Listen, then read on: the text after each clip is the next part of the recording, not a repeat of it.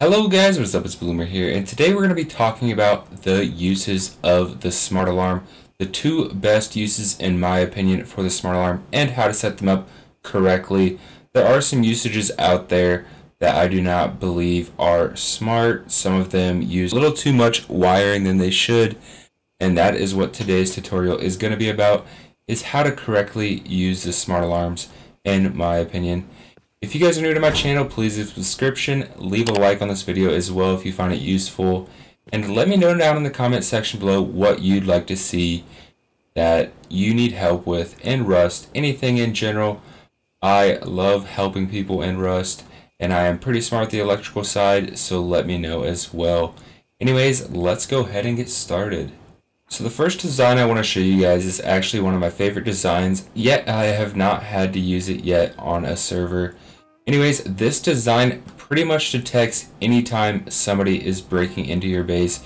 If they break a wall or pretty much any foundation that has a wall above it, as long as these walls are broken, which is what these switches are placed on, the smart alarm will be detected. Sadly for this design, if somebody does go through your doors, it will not go off. But you can go ahead and implement the next design that I will be going into, which implements the HBHF sensors. This design only helps detect players that are breaking through your walls. Although you cannot place switches on the floor, that's sad. This design would be a lot better if you could place switches on the floor. Anyways, to get started, you're gonna need a battery source, obviously. Anyways, we're gonna go ahead and connect it first to an electrical branch you're going to want some power here to your blocker at the bottom. And then once we place that, we're going to go ahead and go all the way over here, power up all of your electrical branches. Your electrical branches will vary on how many switches you do have placed or what all is needed.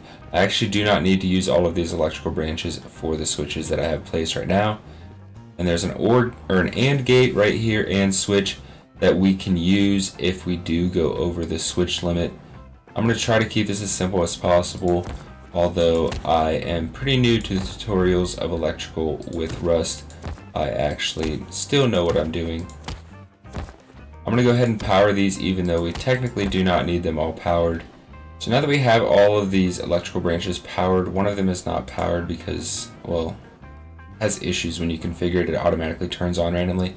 So anyways, to make this tutorial easy for you guys to understand, I want to show you guys how to use it if you're going to have more than one or more than enough switches on all of your walls to where you have to have more than one battery source. So we're going to go ahead and use only two of these switches here and then one of these switches will go to another battery source.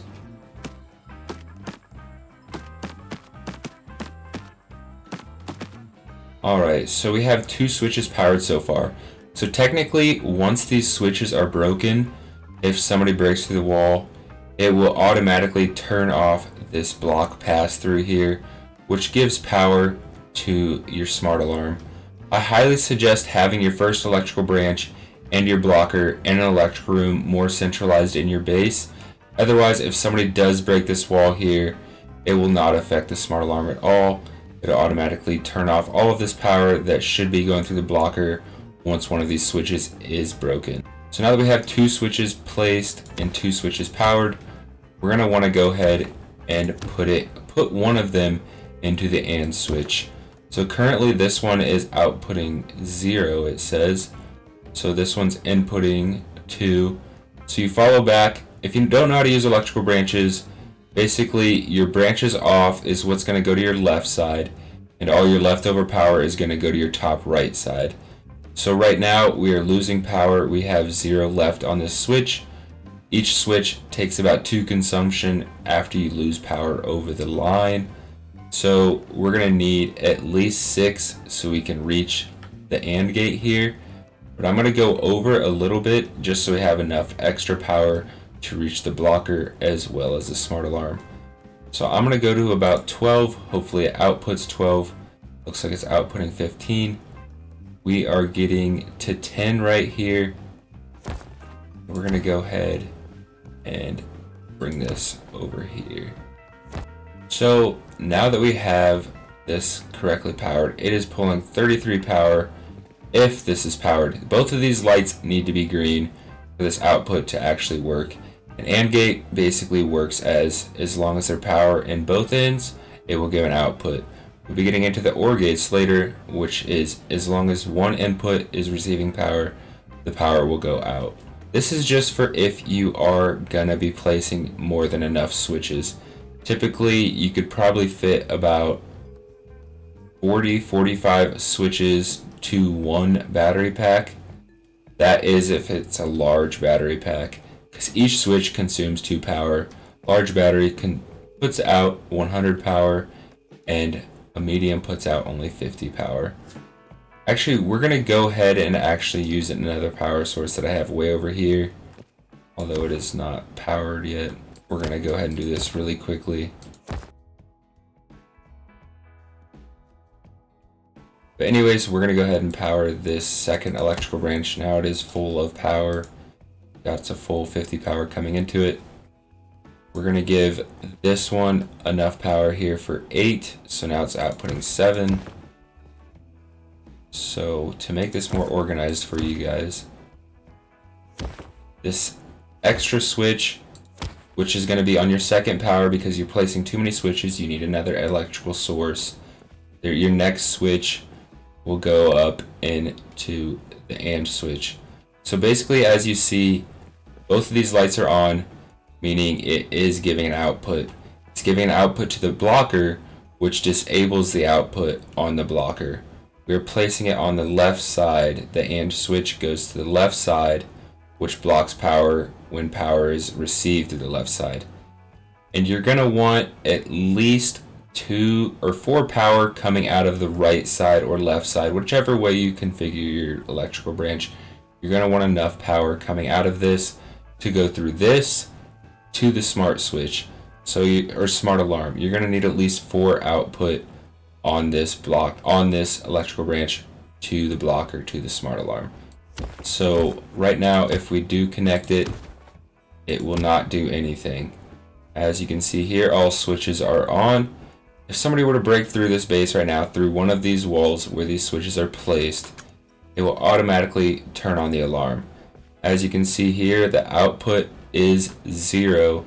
It's going all the way to this AND switch, which gives no output here, all the way across to the blocker, which turns off the power to the blocker, which or Facepunch is a little bit broken. It shouldn't be saying any power is received here, but there isn't any power received here because those are both off.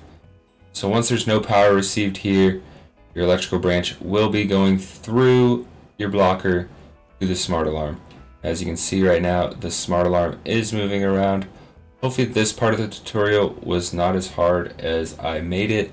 I will be doing some cutscenes through it, so hopefully it'll be fixed a little bit. Anyways, let's go ahead and get into my next part, which is the HBHF sensor, we will be combining both of these in the end as well. But anyways, for the HBHF sensor, I'm going to go ahead and disconnect everything and show you guys how it works. Alright, so for the HBHF sensor, you are going to need HBHF sensors as many as you want. And pretty much you're going to need an electrical branch for about every HBHF sensor. Plus, you're going to need enough for your smart alarm and enough to power through your OR switch as well. Anyways, to go ahead and get started, we are going to power our electrical branches.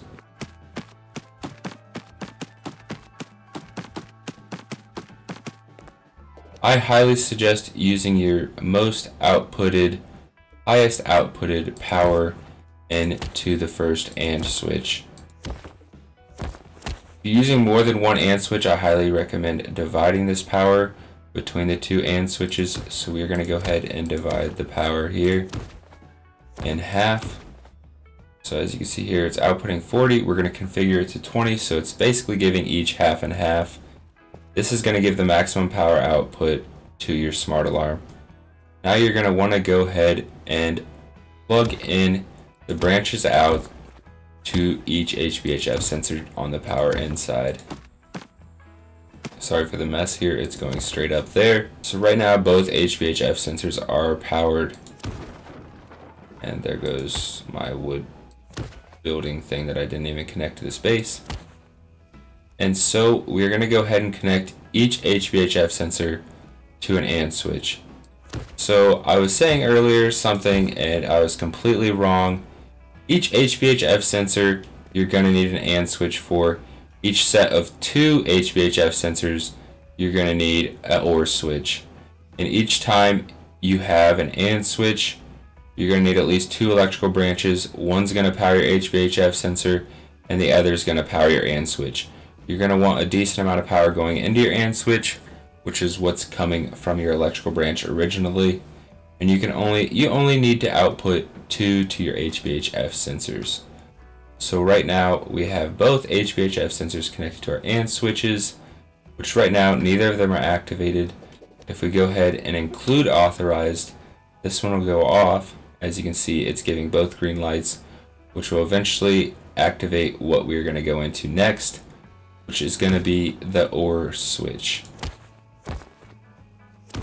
So we're going to connect one AND switch to the OR switch and another AND switch to the OR switch. This is for using only two HBHF sensors. If you're only using one HBHF sensor, you can forget about this OR switch and connect your AND switch right here straight into your smart alarm. Basically, this will both these lights will turn green if your HBHF sensor is activated. I am really confused by this. I don't like how it works. Anyways, go ahead and test with it. If you're included on it, that means it will go off. If you are excluded from it, that means it will not go off if you are there. So now we have the AND switch plugged in here and we have the AND switch plugged in here into the OR switch. OR switch here will go over to your smart alarm. So right now it is not going off, but if we were to have an enemy trigger right now, which technically we're not an enemy, we're not a other person, we're gonna go ahead and do include authorized, which is basically simulating me as somebody not authorized. And now the alarm goes off. This one is only activated, this one is not activated because I did not ex I did not include myself. As you can see here, this one is not activating both green lights. This one is activating both green lights. The only reason there's default one green light is because it's coming from the electrical branch. And the reason we are using the electrical branch for this is for extra power. These HBHF sensors cannot output more than one power, sadly. So that is why we are using the AND switch. I've seen other people use the memory cell, which I highly suggest not doing unless you want to do a ton more wiring than actually needed. I enjoy using the AND switches, I really understand them, and the OR switches as well. It's a lot less power and wiring than the memory cell, as I've seen other people use. Anyways, we'll go ahead and get all of these connected together, and we'll get this working as a set. Alright, so all you're going to need to do to connect both of these systems together is add an OR switch. As said earlier, I highly suggest this system being in a central room where people cannot break your walls to affect the wall effect that we have going on here with the switches. So you're going to place this OR switch and one OR switch will go out to your output that is on your smart alarms, your HBHF sensors I mean. Anyways, once one of these two HBHF sensors activates the red green red to green light, this OR switch will be activated, which will come all the way over here and activate one of these. The OR switch only needs one input to pull out an output. And right now we are getting how much power out of this? We will at least get 20 power out of this because the electrical branches are powering this through. HBHF sensors are only giving one, although I don't know why it's saying 20. I don't know, Facepunch, why your electrical stuff is broken. Anyways, this will receive a 20, which is enough to power the smart alarm. This blocker right here, which is already plugged into this, is outputting zero. Although it says 32, actually we have a switch off. So it's now disabled. You can see the red light here. It is now outputting zero. We're gonna go ahead and plug this blocker into the other end of this OR switch. And now we're going to plug in the output of this OR switch to one of your smart alarms. So right now it is currently not activated. So if we went ahead and authorized ourselves on the HBHF sensor, it automatically output it. It automatically authorize it and turn it on. As you can see here, we got a green light, green light on the OR switch, and green light on this OR switch. And that is for the HBHF sensors to work. Now if somebody were to break a wall, it would still stay green because we still have not deauthorized ourselves on this. Now that we have deauthorized ourselves on this, the wall is broken, it is still outputting a 1 here or a 20, whatever the maximum output is. As you can see, it's moving there. You can turn off and on this switch just to make sure. It's turned off now, and there's no lights here. Switch breaks on the wall, alarm turns on. Anyways, if you guys have any questions about this tutorial, I know it was kind of fast, kind of messy. This is my first electrical tutorial. Please let me know in the comments section down below. Anyways, thank you guys for watching and see you guys later.